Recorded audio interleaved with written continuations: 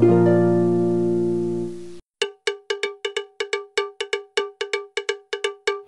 guys, guys, guys, jangan lupa tekan tombol subscribe-nya ya. Jangan lupa juga tekan tombol loncengnya. Buruan! Assalamualaikum warahmatullahi wabarakatuh. Kembali lagi di channel Alpha Family. Oke guys, jadi kali ini cuacanya lumayan mendung Karena habis hujan, ya. Dan kita mau jalan-jalan nyari. Ya kok. yang jelas kita nyari lele-lele pinggir jalan. Let's go. Lele, bukan nyari ikan lele ya. Lele-lele itu mamang-mamang abang-abang. Oke teman-teman, sekarang kita udah berangkat dan ini kita memasuki Jalan Batang Tuaka.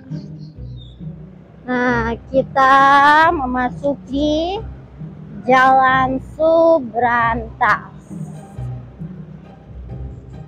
Nih di sini banyak sekali apa baliho-baliho.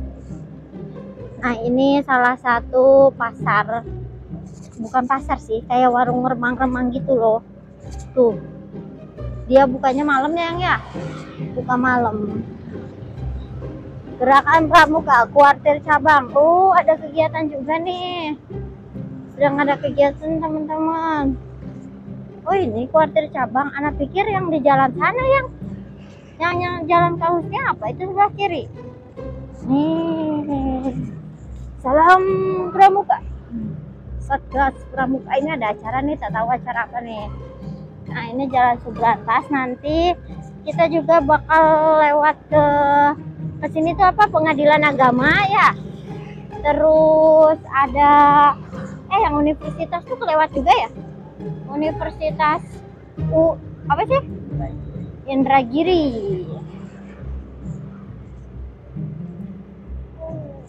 Di sini juga banyak kafe-kafe teman-teman termasuk karena termasuk jalan yang ramai jadi sangat strategis untuk usaha membuka usaha ini gedung DPRD juga di sini nah ini kedai kopi oh udah penuh penuh. Kedai kopi Batam dan ini durian banyak banget.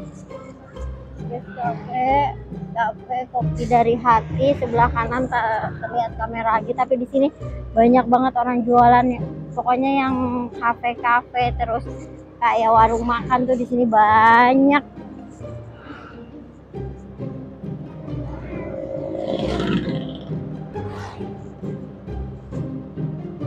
Nah, ini Fakultas Hukum Universitas Indragiri.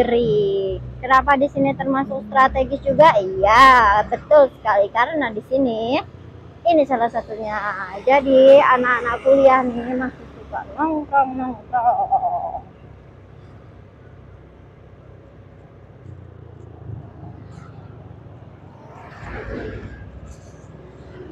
Oh.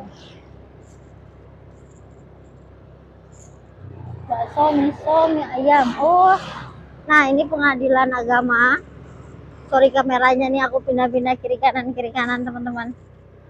Di sini juga ada kafe lagi nih. Nah dua tingkat pondok kita. Nah itu ada perpustakaan teman-teman. Dan full kaca. Nih ini udah kayak kebun-kebun gitulah. Jalan ini jalan yang lumayan sepi nih jalan pendidikan namanya. Ini kayaknya kalau malam lumayan horor juga di sini nih.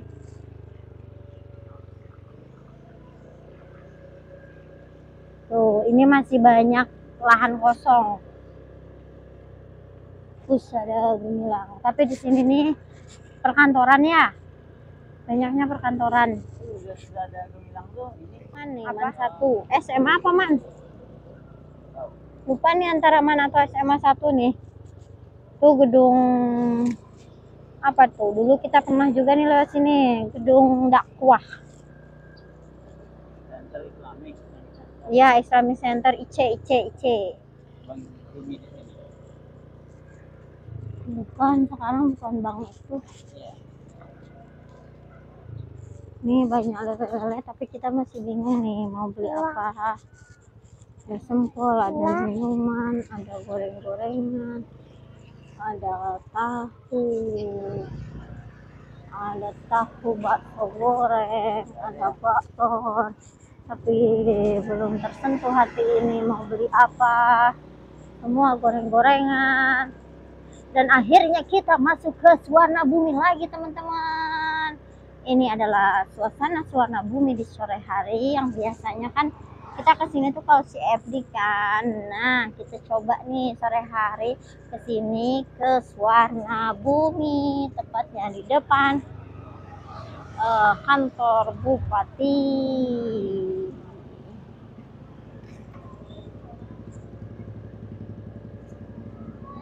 Dan banyak juga loh orang dan ternyata di Suwarna Bumi ini sore-sore banyak sekali kaula muda-muda yang melak melakukan lari-lari gitu olahraga.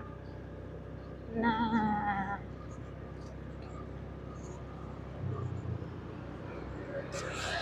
Nah ini kita baru nih ke sini nih teman-teman. Ini rumah sakit Pusada Tembilaha. Sini banyak banget ini orang parkir oh ini yang kebakaran nih. Jadi kemarin ada Nah, katanya itu tuh ternyata pas depan semua tuh kebakaran. apa penyebabnya Entah. Tapi memang dia udah tua. Konsleting listrik mungkin. Nah, itu rumah sakit Purwusada tuh pas depan tuh. Kita udah muter-muter tadi di jalan pendidikan, jalan Subrantas, jalan Suwarna Bumi. Tapi kita tidak ketemu dengan street food atau lele-lele yang mau kita beli makanannya. Tidak ada yang selera. Dan kita ingat di sini ada salalau namanya. Mari kita coba. Deh salalau itu ini? Yang mana loh eh tutup kah? Yang mana loh lupa lupa yang mana ya? Kita cari dulu ya guys salah lauknya tutup bukan salah lauk ya salah lauk tutup Waduh. Bagaimana ini? Kita muter lagi aja teman-teman. 2000 years later. Akhirnya pilihan kita jatuh ke Es Cincau Hijau Jakarta.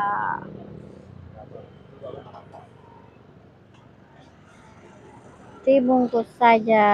Ini dia es cincaunya kita coba kasih toko cincau 2000 years later.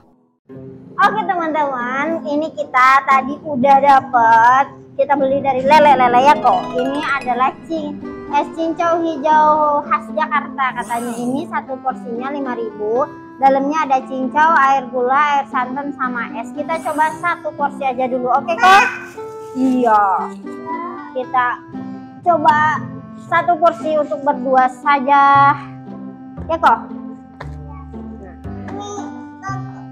iya mie sak koko satu koko ya. Koko koko nah, tunggu kok. Cincaunya kok. Ini cincaunya. Ini dia. Up. Hmm, ini koko. Mie hati-hati saya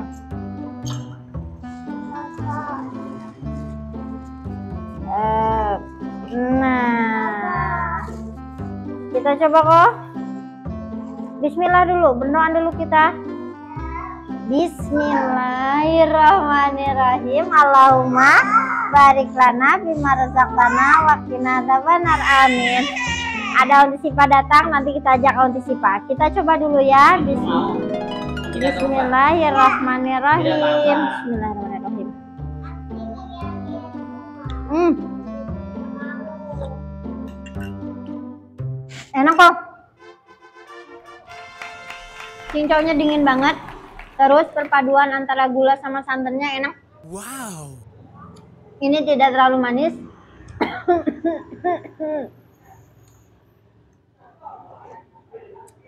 Satu lagi ini ada wangi tapi nggak tahu ya dia pakai apa vanilika atau apa. Tapi yang jelas ini ada wangi-wanginya. Dan manisnya itu pas. Tekstur cincau hijaunya pun enak. Kita cobain koko dulu kasih airnya. Iya, tunggu. Enak. Ini kok cincaunya. Oke teman-teman, sekian dulu video kita kali ini jalan-jalan sore sekalian nyari street food yang akhirnya kita dapat cincau hijau. Terima kasih yang selalu setia nonton Alpha Family. See you next time and bye bye. Wassalamualaikum warahmatullahi wabarakatuh. Emah kok. Dadah.